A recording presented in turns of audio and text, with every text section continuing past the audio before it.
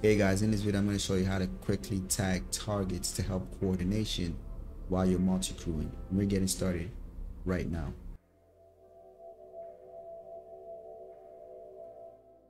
Alright, so what you essentially need to do is you need to always have um, be in a party in order for this to work. So you have to be in a party with your crewmates or whoever you're playing with, right?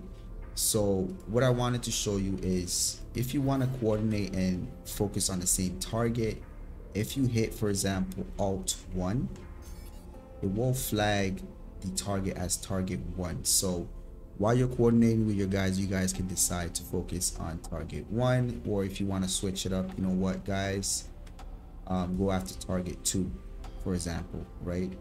Now make this guy target 3, right? So then you can just coordinate with your crew um, or, or your party members and coordinate on who to focus on while you're playing the game. All right? So that's what i wanted to quickly show you. If you haven't already subscribed if you haven't already leave a like on this channel. Leave me a comment let me know if this tip is useful. All right? I will see you on the next one